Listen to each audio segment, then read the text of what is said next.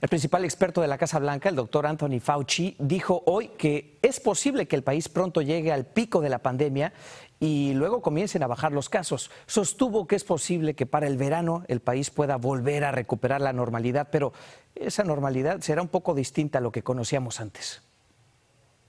It's not going to disappear. It's not going to all of a sudden be eradicated, which means that when we attempt to get back to normal, we have to have in place the ability when it starts to try and rear its ugly head, we can absolutely suppress it by identification, isolation, contact tracing, the kinds of things we've been speaking about.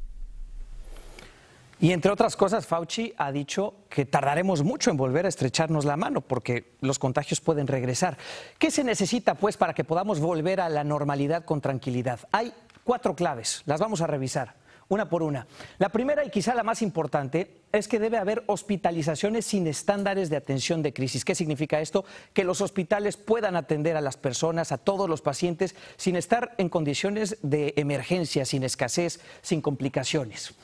Número dos, se necesita que haya evaluación a todos los pacientes con síntomas en todo el país, en todos los estados. Eso implica que cada estado pueda hacer semanalmente en promedio 750 mil pruebas. Semanalmente. Hoy, por ejemplo, no sabemos ni siquiera cuántas pruebas hacen algunos de los estados del país.